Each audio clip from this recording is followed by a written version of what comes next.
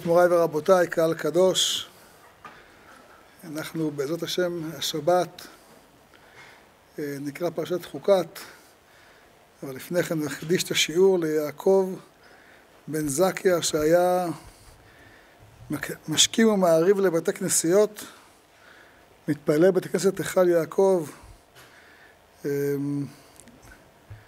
שיום פקודתו זה ו' תמוז, וגם מקודש להבדיל לרפואת שלמה, שלפת שלמה של חנה בת שמנה. אה, אנחנו בפרשת חוקת, רק צריך להזכיר, זאת פרשה שיש בה מעבר אה, של 40 שנה. זאת אומרת, מתחילים אותה בשנה השנייה ליציאת מצרים, והיא עוסקת אחר כך בשנה הארבעים ליציאת מצרים, מיתת אה, מרים ומיתת אה, אהרון והגזרה. אה, יש פה הרבה דברים חשובים שמבדילים בין התחלת הדרך לבין סוף הדרך. אחד הדברים החשובים להזכיר למה התורה מדברת על טהרת עם ישראל דווקא בפרשה הזאת, כי זה לכל אורך התורה אנחנו יודעים שארץ ישראל נקנית בטהרה. ארץ ישראל נקנית בטהרה. בהפטרה של פרשת חוקת, שאנחנו קוראים אותה בשבת פרה, שם כתוב, באזכרה מובא שם פרק מספר יחזקאל, שאומר שכשהקדוש ברוך הוא מביא את עם ישראל לארץ ישראל, וקיבצתי אתכם מכל הגויים והבאתי אתכם מכל הארצות, וזרקתי עליכם מים טהורים וטהרתם. מכל תמותיכם, מכל גלוליכם אטהר אתכם. למה? כי אי אפשר להיות בארץ ישראל בלי טהרה. כמו שכתוב בספר ויקרא, שכאשר עם ישראל חלילה אה, נטמע בטומאת הגויים, אז כתוב, תיזהרו שלא תקיא אתכם הארץ, בטמאכם אותה כאשר קע את הגוי אשר לפניכם. ארץ ישראל נקנית בטהרה. ואם אנחנו רוצים עוד יותר לקנות את ארץ ישראל, צריכים עוד יותר טהרה. כמה שיותר טהרה, יותר קניין. עד כדי כך שהפסוק אומר, ביום טהרי אתכם מכל עוונותיכם, והושבתי את הערים ונבנו החורבות, והארץ הנשמה תאבד תחת, תחת אשר הייתה שממה לעיני כל עובר. זאת אומרת, ביום שהקדוש ברוך הוא מטהר אותנו, אנחנו זוכים לבנות בתים ולבנות חורבות, ועוד יותר ליישב, להתיישב בארץ ישראל. ועוד יותר לטעת כרמים ולבנות, והארץ הנשמה, הארץ שהייתה שממה, תאבד, תהיה ארץ מבורכת. לכן פרשת חוקה תהיה הפרשה שמדברת על לפני הכניסה לארץ ישראל. עם ישראל צריך לעבור תהליך של טהרה. נטהר, זרקתי עליכם מים טהורים, יש זריקת מים טהורים לפני שנכנסים לארץ, ויש זריקת מים טהורים אחרי שנכנסים לארץ. גם זה וגם זה קיים. אה, בסוף הפרשה יש, אה, יש שירה של הבאר. הפסוק שם אומר, אקרא לכם אותו עכשיו, אה,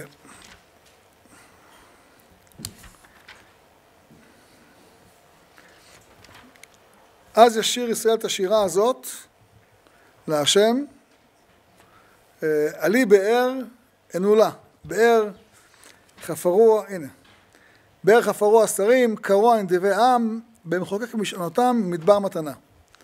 מה זה אז ישיר ישראל את השירה הזאת, בשונה משירת הים, כתוב אז ישיר משה ובני ישראל, פה כתוב אז ישיר ישראל את השירה הזאת להשם. עלי באר ענולה. על מה ההודעה שהם מודים לקדוש ברוך הוא? על הבאר שהם אה, זכו לה במשך במשך 40 שנה. למה זה מוזכר רק פה? למה זה מוזכר רק בסוף ה-40 שנה? אז זה הגמרא אומרת שעם ישראל, הפסוק הזה נאמר, אין אדם עומד על דעת רבו עד 40 שנה. פירוש, הגמרא מסבירה, בני ישראל לקח להם 40 שנה להבין איזה טוב הקדוש ברוך הוא עשה להם. ארבעים שנה יש להם את הבאר, הם לא מודיעים עליה. הם לא יודעים להודות עליה. עד כדי כך הגמרא אומרת, עד כמה הם לא היו יודעים להודות להשם. הגמרא מביאה במסכת, אה, הגמרא מביאה שם שאומרת שבני ישראל, מסכת עבודה זרה, בהתחלה, שכשבני ישראל קיבלו את התורה, אומרים לקדוש ברוך הוא, דבר אתה עמנו ונשמע וידבר עמנו לאם פן נמות. ומה אתם חושבים שאני רוצה לפגוע בכם? אומרת הגמרא, כפויה טובה בני כפויה טובה. כפויה טובה גם בזה, וגם שיורד להימן, שהוא זוהר, הלחם אבירים אכל איש, הם אומרים לחם קלוקל. בני כפויות טובה, בני אדם הראשון, שהיה כפוי טובה, שכשהקדוש ברוך הוא נתן לו את הדבר הכי טוב, נתן לו את האישה. לא טוב להיות אדם לבדו, מצא אישה מצא טוב, מה הוא אומר לקדוש ברוך הוא? האישה אשמה, האישה שנתת עמדי, היא נתנה לי מן העץ. אתם לא יודעים, לא יודעים להגיד תודה לקדוש ברוך הוא? מתי הם נזכרו להגיד תודה? פעם ראשונה? אחרי ארבעים שנה. פה, פה הם נזכרים להגיד תודה לקדוש ברוך הוא, ואומרים ריבונו של עולם, שרים שיר להשם, והחידוש פה, שהשיר הזה שהם שרים להשם, הם לא שרים אותו דרך משה רבנו, הם שרים מעצמם. כי כשהם יצאו ממצרים, אז היו מתאוננים, קראנו, והיו בוכים בחטא המרגלים, וכל הזמן יש להם תלונות, ונחזור למצרים, ובשנאת השם אותנו הוצאנו ממצרים, ככה, זה הדרך שבה עם ישראל יוצא ממצרים. לא יודעים להגיד תודה. כל היום כפויות טובה. וכששרו שירת הים, אז זה משה מעורר אותם. אז ישיר משה ובני ישראל. ולכן אנחנו צריכים לתקן את זה, שאנחנו שרים כל הזמן שירת הים מעצמנו. פה זה חידוש גדול. אז ישיר ישראל את השירה הזאת להשם, עלי באר הנעולה. ואומרים, זה לא בזכותנו, זה בזכות משה, באר חפרו השרים, קרוע נדיבי עם, במחוקק משענותם ובמדבר מתנה. זכינו למתנות כל כך חשובות, אז זה חידוש שלא היה עד עכשיו. אה, וכך הגמרא אומרת, הגמרא מדברת על זה.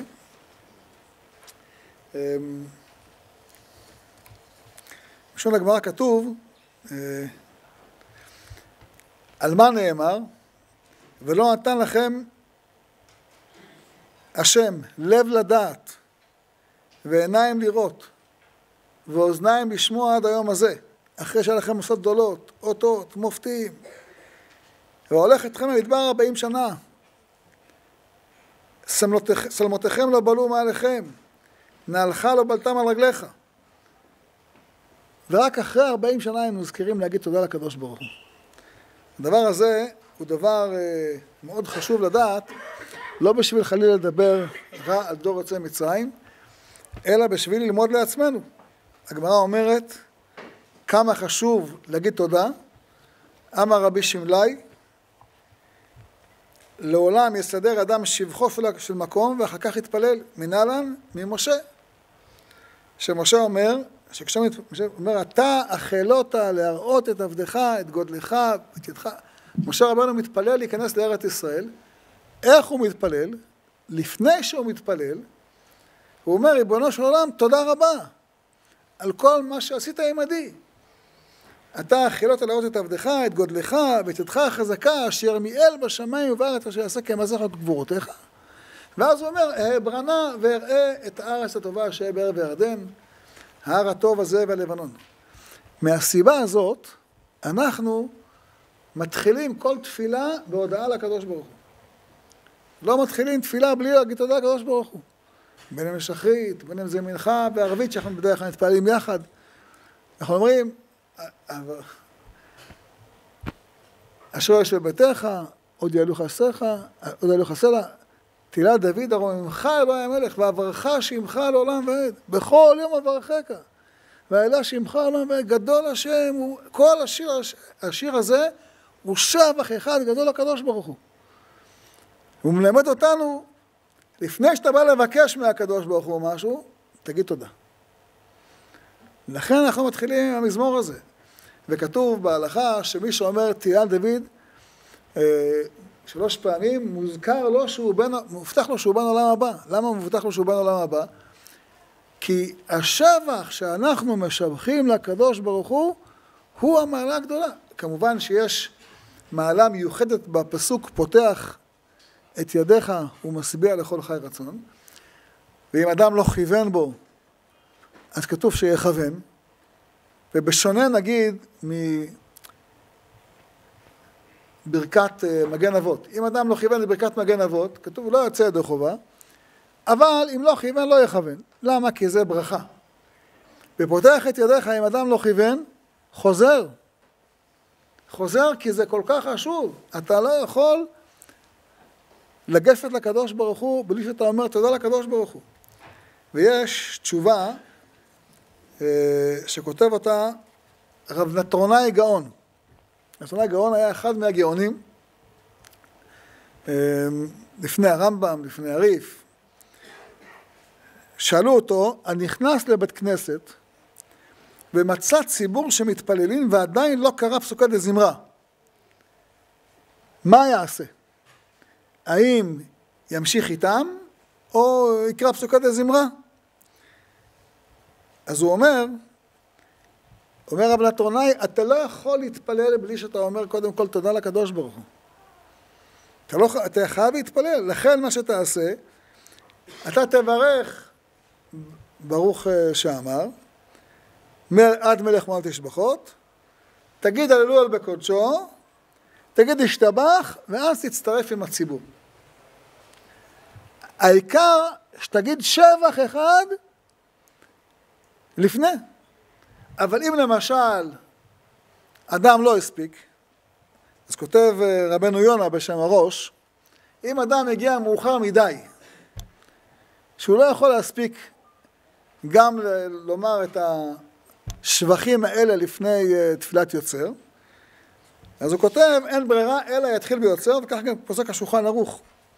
למעשה, הלכה למעשה, שאם אדם לא הספיק, אבל הוא אומר, מביא את שו"ת הרשב"א, שהרשב"א שואל, מה, אז מה יעשה, האם יקרא את זה אחרי התפילה או לא? אומר הרב, הרב, הרב, עמרם גאון, אבל לומר פסוקי דזמרה אחרי התפילה, יש גנאי בדבר לומר שבח אחרי התפילה.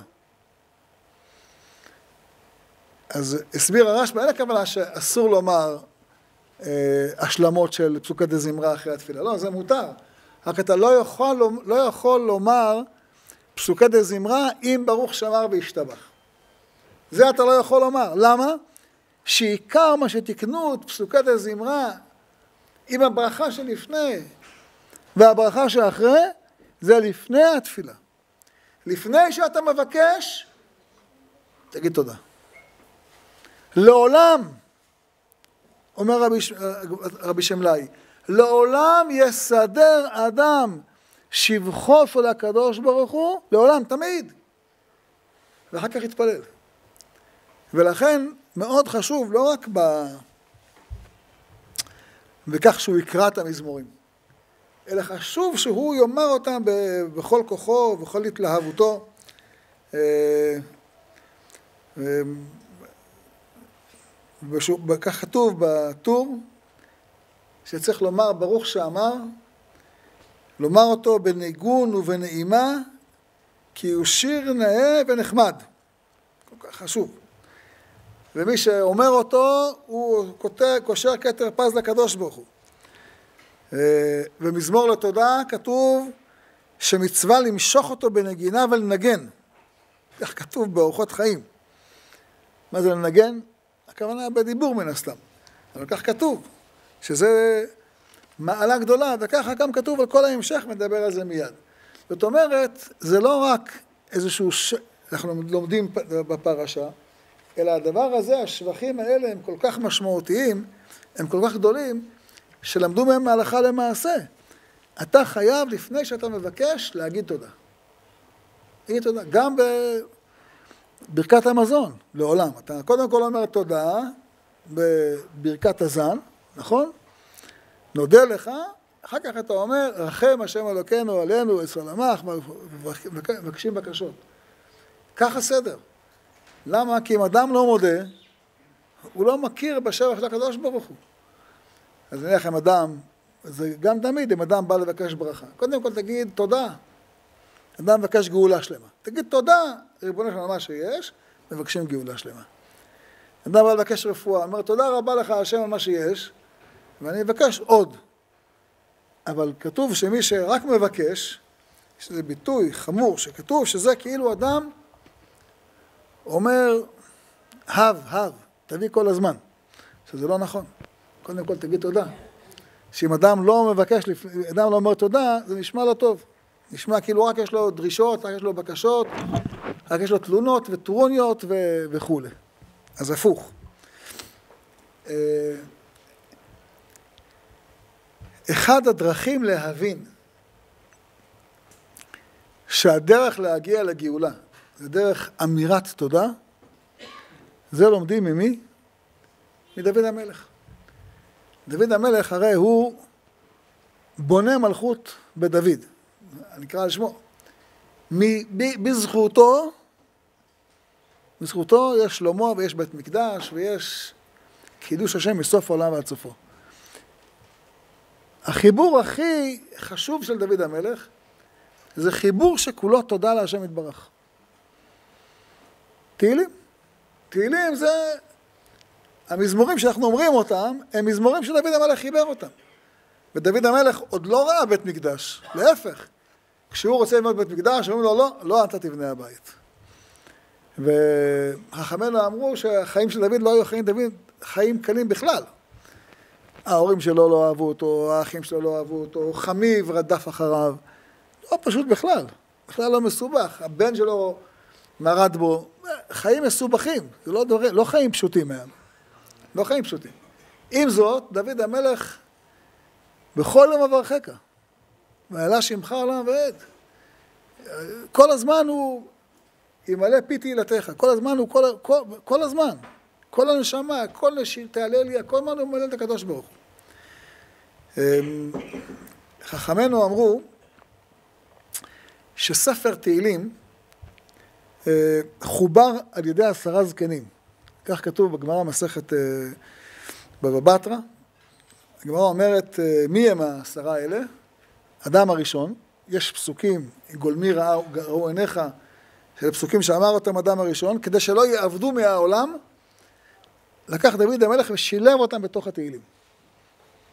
וגם מלכי צדק, יש לו שבחים שהוא אמר אה, בירושלים, שם בן נוח, גם הם נכנסו בתוך התהילים, על דיברתי מלכי צדק, גם אברהם אבינו, זה רמוז במזמור של איתן האזרחי, גם על ידי משה.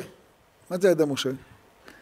כולנו יודעים שיש תפילה למשה, רש"י במקום מביא, יש 11 מזמורים שאמר משה רבנו, מתחילים בתפילה למשה ונגמרים במזמור לתודה, הריעו להשם כל הארץ, שזה מזמור שאנחנו רואים אותו בתפילה. כמו שאמרנו מקודם, צריך לומר אותו בניגון. ובאמת, מי שמתבונן על תפילה למשה, יראה משהו מעניין. יש חמישה ספרים בספר תהילים, נכון? כנגד חמישה חומשי תורה. מי שמתבונן בספרים האלה, יכול לראות שכל ספר יש לו ייחוד. החלוקה של הספרים היא לא לפי גודלם של הספרים. זאת אומרת, יש, אם יש 150 מזמורים בספר תהילים, אז לא כל ספר 30 פרקים. הספר הראשון, זה, יש בו עד פרק מ"ב, 42, וזה ספר שכולו מזמורים של דוד המלך בעצמו. כל המזמורים בספר ראשון הם מזמורים של דוד המלך. כשאתם קוראים תהילים תשימו לב. הספר השני מתחיל בפרק מ"ב, והוא מתחיל במזמורים של בני קורח. קראנו עכשיו על בני קורח בשבת האחרונה. יש שבע מזמורים של בני קורח שמתחילים את, את הספר השני. אחר כך יש עוד מזמורים של אחד של אסף והשאר של דוד. הספר השני הוא ספר של בני קורח. הספר השלישי, שהוא מתחיל מפרק ע"ג, הוא מזמורים של אסף, יש שם 11 מזמורים של אסף. אחר כך יש עוד מסמרים בודדים של בני קורח ומזמורים של דוד המלך. הספר הרביעי מתחיל מפרק צדיק עד ק"ו, ספר קצר, 16 מזמורים סך הכל, כן? הוא 11 מזמורים של משה ועוד מזמורים של דוד. הספר החמישי זה מק"ז עד ק"נ עד הסוף, ספר ארוך. אלה מזמורים של כלל ישראל. הלל יש שם, קי"ט יש שם, שיר המעלות יש שם, הללויה יש שם. המזמורים של כלל ישראל, הגמרא אומרת, הלל זה מי אמרו? נביאים שביניהם תקנו להם לישראל שיהיו אומרים אותו על כל פרק ופרק ועל כל צרה וצרה שלא תבוא עליהם, וכשנגלים אומרים אותו לגאולתם. זה תקנו אותו כבר ביציאת מצרים, ודוד המלך שילב אותו בתוך התהילים. אז הפרק החמישי, הספר החמישי בתהילים, ספר של כלל ישראל. אז אם כן, יש לנו חמישה ספרים בתהילים. וצריך לשים לב שכל אחד מהם, נגיד בני קורח, יש להם שירים מיוחדים. מה השירים שלהם? מה הם באים לומר? הם באים לומר לעם ישראל, אפילו מי שהיה בשאול, יכול לצאת. והחידוש הגדול השני שלהם, אה, מה החידוש הגדול השני של, של בני קורח? קורח היה לו כישרון עצום. מה הכישרון שלו היה? הכישרון שלו היה לשכנע את כל העדה, כן? ויקל עליהם קורח את כל העדה. תארו לעצמכם מול משה רבנו להקיל את כל העדה, אה, כישרון גדול. הוא מצליח את כל עם ישראל להביא אותם מול משה ואהרון. פרק גדול, פרק גדול. הכישרון הזה אצל קורח משמש לרעה. אבל אצל בני קורח, הם לוקחים את הכישרון הזה של אבא שלהם, והם מצליחים להקיל את כל עם ישראל לקדושה. הגמרא אומרת ש... הפסוק אומר, הפסוק בספר דברי הימים אומר, שאלקנה, האבא של שמואל, היה מבני קורח. הוא מצליח להקיל את כל עם ישראל למשכן שלו. שמואל מצליח להקיל את כל עם ישראל לעבודת השם, להמליך מלך. ובני קורח מצליחים במקדש להקהיל את כל עם ישראל לנבואה, שזה פלא גדול, עד כדי כך שכתוב שמתוך 24 משמרות כהונה שהיו, אה, סליחה, משמרות לוויים, שהיו בית המקדש, שהיו מצליחים לעורר את עם ישראל, מתוך 24, 14 היו של המן, שהוא היה אה, מצאצאיו של קורח. המן בן יואל בן שמואל, בן קורח. 14 משמרות של לוויים שמצליחים לרומם את כל עם ישראל. לרומם את ה... אנשים היו מגיעים לבית המקדש, אבא עליו השלום היה מתאר ואומר שהיו הלוויים מנגנים, מצליחים לגוע בלב, בנקודה שבנפש, ול...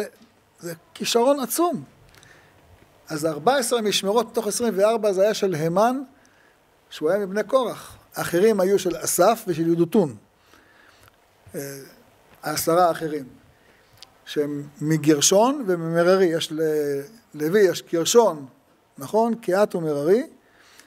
אז מקהת זה יצא קורח, ומצאצאיו היו 14 משמרות. אה, מגרשון זה אסף, ואסף זה יש לו ארבע משמרות, וידותון, שזה ממררי, יש לו שש משמרות. כך מופיע בדברי הימים, את המשמרות שמחלק אותם דוד המלך ללוויים לשיר בבית המקדש. מה? לא הבנתי. אמ, הכישרון הזה של, הכישרון הזה שלהם זה כישרון שנלמד מקורח. זה כישרון מדהים, לדעת להשתמש בו, ולכן דוד המלך משלב אותם בתהילים. זה, זה המזמורים, עכשיו כל, גם דוד לומד מהם, וכל המזמורים שנמצאים ב, בספר השני, אלה מזמורים שנסמכים על מה ש... יש מזמורים שדוד המלך אומר בעזרת ידותון. ידותון אמרנו שזה מבני מררי אחרי שש משמרות לוויים. יש למנצח מזמור הדוד על ידותון. מה זה ידותון? הוא עוזר לו לשיר. יש כמה מזמורים של ידותון. יש מזמור אחד של בני קורח עם ידותון. ידותון הוא גם כן, הוא, הם לא רק שרים מבית המקדש, הם גם שרים את השירים של אחיהם, והם גם מחברים שירים מיוחדים. יש שירים שכתוב עליהם משכיל, בבני קורח בדרך כלל כתוב משכיל. מה זה משכיל? הגמרא אומרת שירים שכתוב בהם משכיל, הם, אתה צריך להתבונן בהם, זה לא... צריך מתורגמן, צריך מישהו שיסביר לך מה כתוב פה. זה שירים עמוקים מאוד. השירים האלה היו מאוד אה, עמוקים, מאוד, מאוד מיוחדים. אנחנו מדברים עליהם, עוד בעזר השם נזכה לשמוע אותם. אבל השירים האלה שירים שדוד המלך מחבר אותם בעזרת עשרה זקנים, ומטרתם פשוט לרומם את עם ישראל להודות להשם. מההודעה הזאת זוכים למלכות שלמה המלך. מההודעה הזאת אנחנו זוכים בסוף להקים בית מקדש. יש כאלה אומרים, שיהיה בית המקדש נגיד תודה. אומרים לך חביבי לא, לעולם יסדר אדם שבחו של הקדוש ברוך הוא, אחר כך תתפלל. יש בדוד המלך מתפלל, הוא מתפלל, מת... בוכה, מת... אם אתן שנת לעיניי, לעפעפי תנומה, עד אמצא מקום להשם, משכנות לאביר יעקב. הוא מתפלל, הוא לא נותן לעצמו לישון. הוא קם בחצי לילה, אומר תיקון חצות, מתפלל, שיבנה בית המקדש, עד אמצא מקום להשם. אבל מתוך מה הוא מתפלל? מתוך זה שהוא מבקש. לכן, מכיוון שהוא מתפלל מתוך זה שהוא מבקש, לכן התפילה שלו נשמעת. ולכן אנחנו הולכים בדרכו, וזה מה שאומר רבי שמלאי, לעולם, לעולם יסדר אדם שיבחוף לקדוש ברוך הוא כך יתפלל. מה זה יסדר? יסדר פירושו, תסד... אתה, לפעמים אדם אומר, אני אתפלל תפילה ספונטנית. לא. טוב שאתה מתפלל תפילה ספונטנית, זה בסדר, אבל לפני שאתה מתפלל, תרשום לך. תרשום. ת, ת, ת, תחשוב על מה אתה הולך להודות. איך אתה הולך להודות לקדוש ברוך הוא? באיזה אופן אתה הולך להודות לקדוש ברוך הוא? תתבונן בדברים האלה לפני שאתה מודה לקדוש ברוך הוא, ותודה. יסדר, תרשום מה הטובות שהקדוש ברוך הוא גמל, גמל, גמל לך. לפעמים אדם, אה, טוב, חייבים לומר תודה, נגיד תודה. לא ככה. יש כתוב, אה, אם אדם אומר פסוקי דה זמרה, ולא מבין אותם. אנחנו קצת קשה לנו להבין מה זה לא מבין. פסוקי דה זמרה זה עברית פשוטה. אבל אני ראיתי, בטח גם אתם ראיתם, יש מקומות בחוץ לארץ, אנשים אה, מתפעלים בתוך סידור, לא תמיד מבינים את המילים. כן? האם יש שבח למילים האלה? אם אדם אומר אותם ולא מבין אותם. אז כותב שאם אדם אומר את פסוקי דה זמרה ולא מבין אותם, אבל מה? הוא אומר אותם בשמחה, בהתלהבות וזה. אז uh, השירים האלה יש להם ערך עצום. הגם שהוא לא מבין, למה שירים, לא תמיד זה עניין של הבנה. זה עניין של תודה. אדם מודה להשם. אז כתוב, יש פסוק אומר, ודגלו עליי אהבה, אפילו אם אדם מדלג חלילה, גם זה, הקדוש ברוך הוא אומר, אני אוהב את זה. ברור שעדיף שאדם יאמר, כתוב שפסוקי לזמרה, אדם צריך לומר אותם במרוץ, בנחת, לא במרוצה, מילה מילה. אה, יש הרבה הדרכות של חז"ל, איך צריך לומר את פסוקי דה זמרה, באיזה נחת, כן? אבל אה, מלבד כל זאת, כתוב, ונקרא לכם שנייה, הלשון, שולחן ערוך אומר, אין אומרים הזמירות במרוצה כי אם בנחת. והתעורר מאוד ביראה ואהבה והכנעה ושמחה לומר כל הזמירות.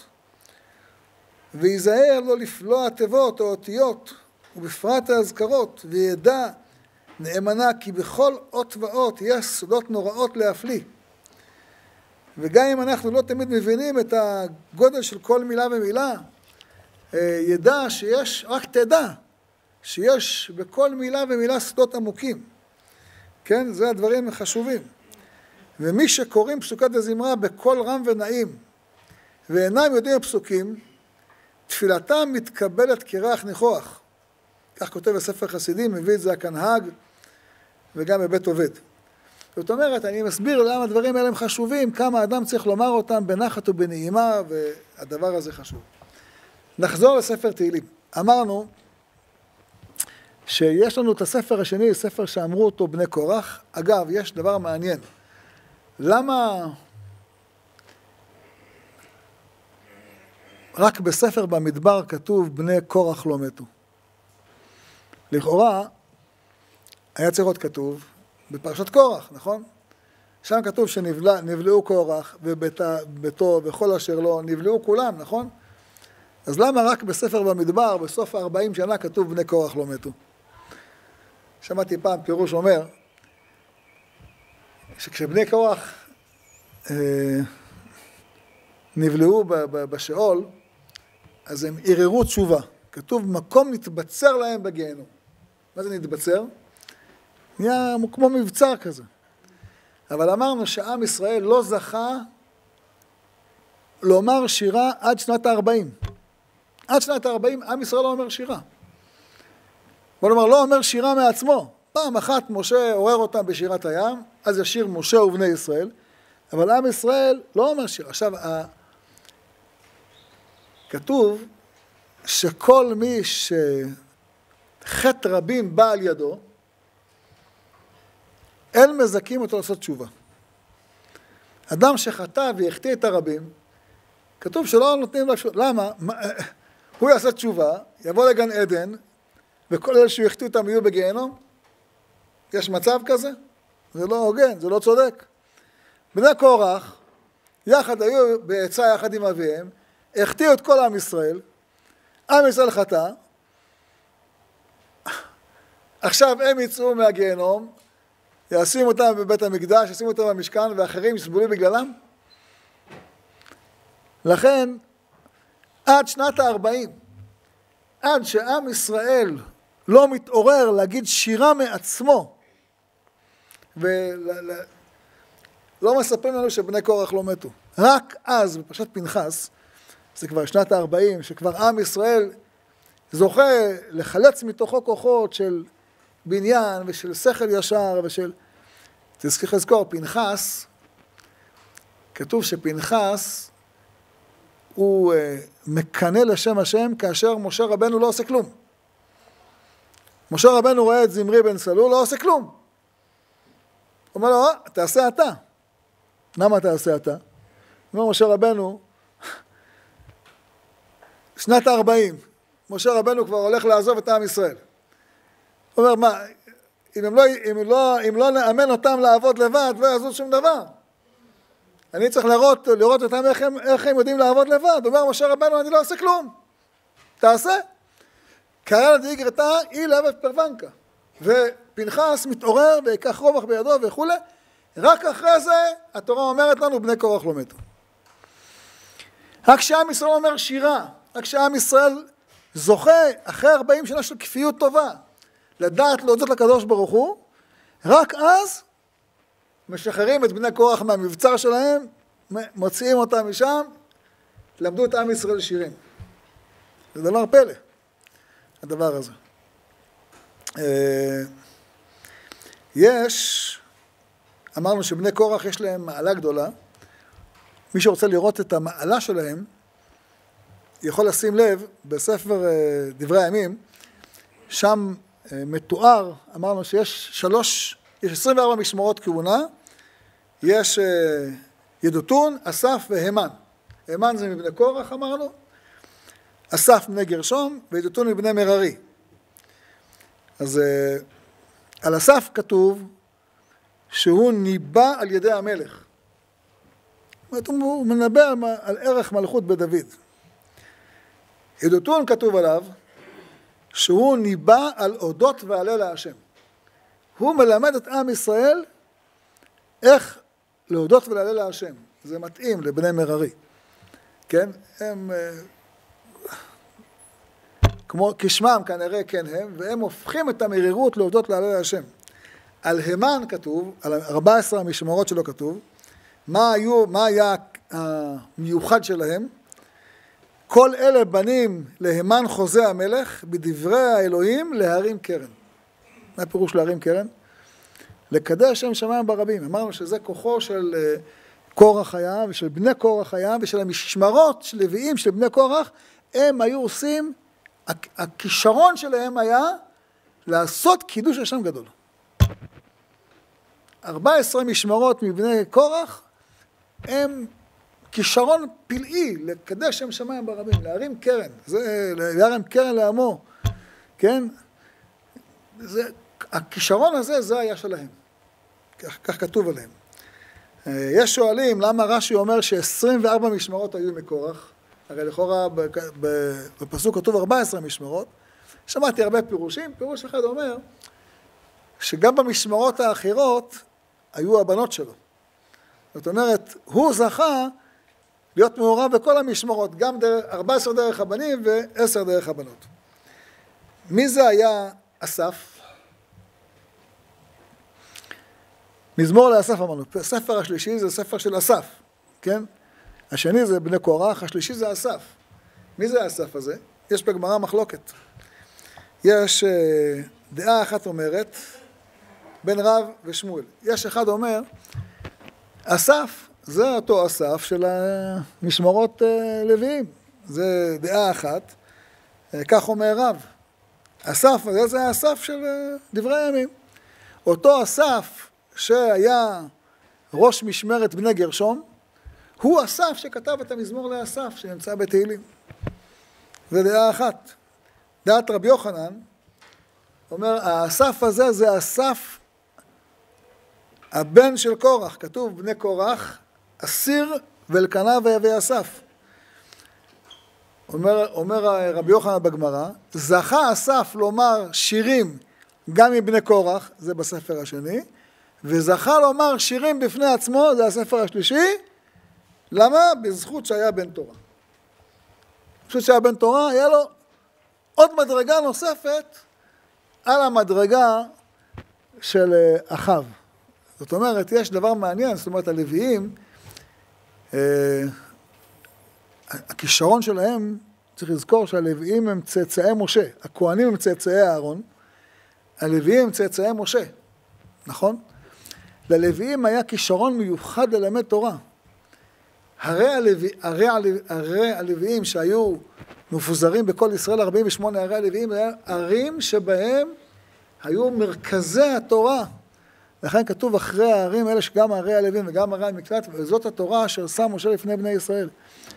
הדרך של, של, של, של משה רבנו לחנך את עם ישראל ללמוד תורה, היה דרך 48 ערי הלוויים שהם היו מפוזרים בכל ארץ ישראל, וזה היה, שם ישיבות, שם אולפנות, שם ישיבה לבעלי תשובה, ישיבה לרוצחים בשגגה, כל הערים האלה, גם ערי, ערי, ערי, גם ערי לוויים היו קולטות וגם ערי, ערי מקלט היו קולטות. לא רק, ערי, לא רק ערי מקלט היו קולטות, גם ערי לוויים היו קולטות. כי כל הערים האלה היו ערים שבהם היו מלמדים תורה ומחנכים תורה ומרביצים תורה ברבים, ולכן כתוב על אסף שהיה בן תורה, שהכישרון של הלווים היה לא רק לנגן, לנגן מתוך תורה.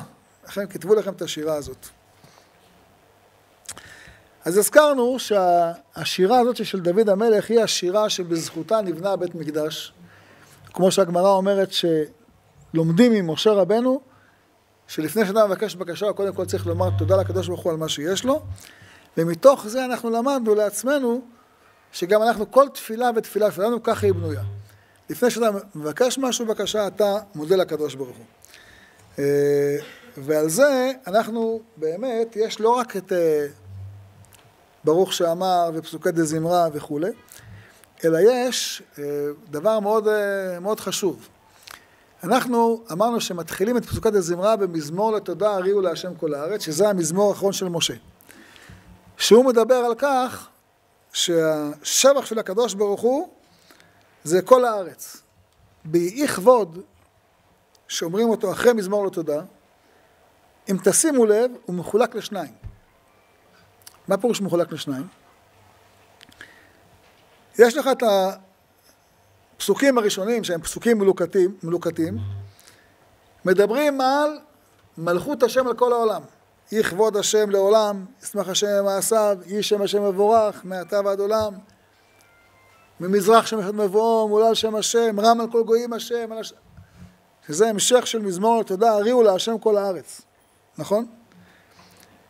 בחצי השני של המזמור של יכבוד, אנחנו מדברים על מלכות השם דרך עם ישראל. השם מלך עולם ועד, עבדו גויים מארצו. השם לפי רצת גויים, הנה מחשבות עמים, יש להם כל מיני מחשבות, אנחנו רואים אותם עד היום, שום דבר. רבות מחשבות בלב איש, ועצת השם מתקום. צריך לומר את זה לכל מי שחושב רע על עם ישראל. חבל לך על הזמן. מה עולה בדעתך? אתה תנצח את הקדוש ברוך הוא?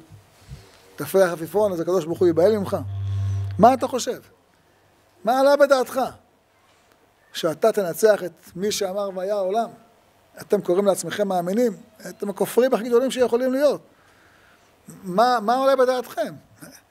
וזה כל המזמור הזה, עצת השם לעולם תעמוד, מחשבות יבואו דור ודור, כל מה שהוא תכנן יהיה. כי הוא אמר ויהיה, הוא ציווה ויעמוד, מה אתה עולה, זה יכבוד. יכבוד מתחיל במלכות השם על כל העולם, ועובר על מלכות השם על עם ישראל. ולמה זה קשור? כי מי שחושב שמלכות השם על כל העולם היא ישירות, אינו על הטועה. ימלוך השם לעולם, אלוהיך ציון. דרך עם ישראל, דרך ירושלים. לא דרך שום מקום אחר. דרך עם ישראל בירושלים, רק זה, רק זה יכול להיות. לכן כל יכבוד הוא כל כך חשוב. הוא ההקדמה לפסוקת הזמרה. להבין שאנחנו מדברים על בניין עם ישראל, זה כי מתוכו, מתוך בניינו של עם ישראל, תבוא ישועה לעולם כולו. הדברים האלה, אדם שאומר אותם, צריך להתבונן בהם ולהבין מה הוא אומר. לא די בכך שהוא אומר את פסוקי דה זמרה. תתבונן בהם, תבין בהם, תראה מה המעלה שלהם. אה, יש אה, הלכה שאומרת שאם אדם בפסוקי דה זמרה לא, לא יכול להפסיק. לא יכול, פסוקי דה זמרה, להפסיק לדבר עם מישהו, לדבר עם זה, לדבר עם זה. אמנם אם הוא שומע ברכה הוא אומר אמן. אבל להפסיק הפסקה יזומה הוא לא מפסיק. הוא צריך להיות מרוכז בפסוקת הזמרה שהוא אומר אותם. זאת אומרת, ובעיקר, הדבר הכי חשוב שהוא צריך לומר אותם בכוונת הלב. זאת אומרת, מה שהגמרא אומרת, שכל האומר תהילה לדוד, מובטח לו שהוא בא לעולם הבא, הכוונה שאתה אומר את זה בכוונת הלב. מה פירוש כוונת הלב? כוונת הלב אין הכוונה רק שאתה אומר את המילים ואתה מבין מה אמרת. זה חשוב.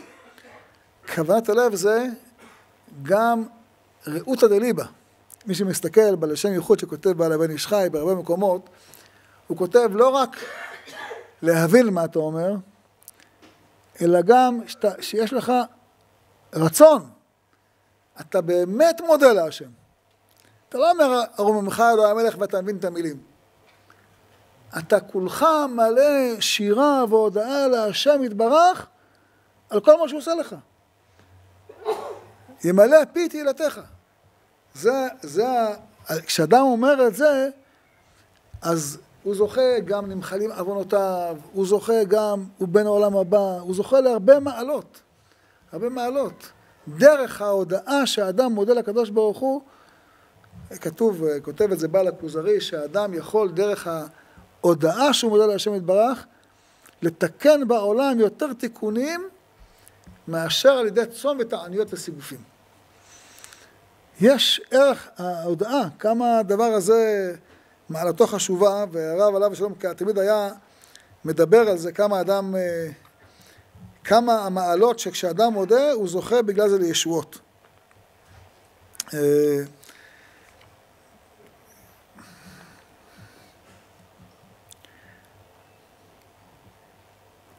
כותב דיברנו על, ה, על המזמורים של דוד המלך, על התהילים. הזכרנו גם כן את שירת הים. יש, כתוב בזוהר,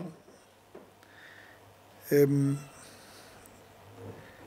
כל, נקרא לכם את הלשון שלו, כל ברנש, דאמר שיר תדה בכל יומא, ומכוון בה, זכי לממרא לעלמא דעתי, ולשבחה ביומי דמלכה משיחא בחדוותה, דקוד שבריחו.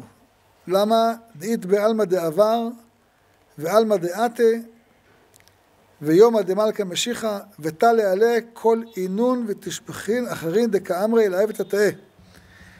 ואז הוא יזכה לומר את המזמור הזה גם בערא קדישא, אה, בפורקנות בישראל. זאת אומרת, כל מה שאמרנו, אומר את זה הזוהר במשפט אחד.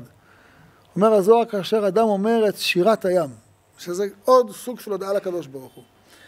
והוא אומר את זה אה, בכוונה, מתוך ההודעה הזאת, שהוא אומר אותה בכוונה, הוא יזכה לומר את השיר הזה בארץ ישראל, הוא יזכה לומר את השיר הזה בזמן מלך המשיח, הוא יזכה לומר את, המשיר, את השיר הזה בפורקנאון דל ישראל.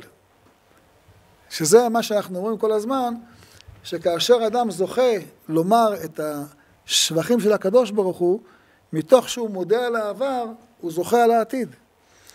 ולכן אם אדם אומר את שירת הים, כתוב שבן איש חיים מביא את זה, שכשאדם אומר את שירת הים, הוא צריך לומר אותה כאילו הוא אומר בים. מה זאת אומרת? אתה לא עומד בים, אבל להגיד תודה בשמחה ובהתלהבות, כאילו אתה עומד בים, זה כן, זה כן אתה יכול לומר.